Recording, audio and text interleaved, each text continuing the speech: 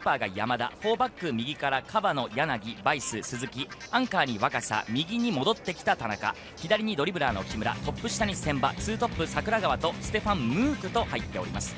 今日はハン・イゴンがベンチスタートということになりました。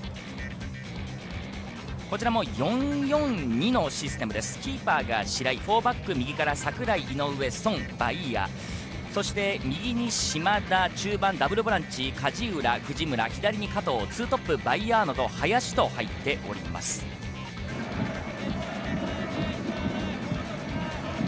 川野のボール真ん中に入ったヘディング!柳が高かった!このタイミングが早かったということもありましたけどこれ状態をコントロールしながらね当ててボールをキーパーの右側に流し込むという技術は高かったですよね。もちろん金沢もそこはスカウティングして頭には入っているはず。さあここもテンポがいいぞ。右に持ってきた。さあクロスサーの川野中を見た。いいボールが入った。川野のクロス。ボレーシュート！桜川プッシュ！いやーこれはかき出した金沢いやーいいクロスからのジャンピングボレー最後は桜川。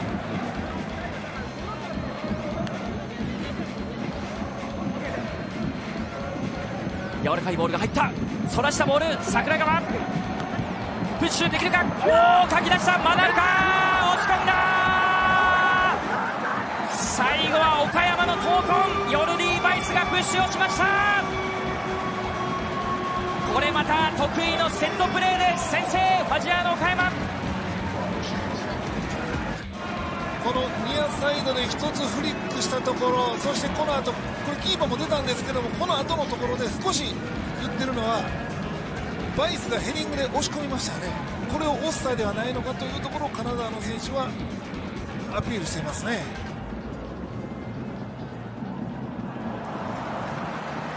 ここも一旦クロスバーにこの藤村ですよねゴールカバー。そうですねよくカバーしたと思いますしね、えー。繋いでいきます。捕まえた岡山。千葉が取った。千葉が取ったさあ千葉右使って桜川のシュートオフサイド頭を抱えます桜川ソロモンボールダッシュ後のショートカウンター若干千葉が1つタッチを入れた分だけ桜川のオフサイドラインを越えてしまった時にパスを供給してしまいましたかね、桜川ソロモンが粘りましたが上なし庄司の対応裏返した林林のクロスこぼれる。チャンス作りました金沢。こぼれたボール。ワンタッチしてからのやり直し。5番の櫻井。藤村です。引き出した石原。石原は急がずに戻して櫻井のアーリークロス。孫大河のヘディングできた。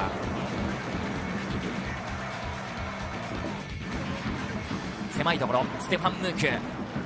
くるっと回った。千葉が来た。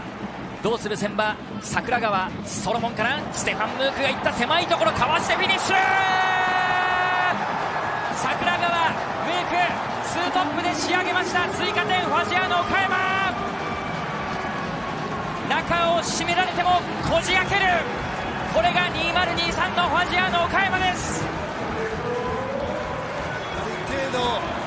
仕掛けていってペナルティーボックスのラインでここで桜川がためて横パス出すんですよね。そして1つ目のタッチでどうしても顔は下がったんですけれどもダブルタッチでステップ踏んだことにより金沢のディフェンダーがどうしても飛び込めなかった。そして最後は落ち着いて流し込んだというところこの手本当にテクニックのある仕留め方だったなと思いますね。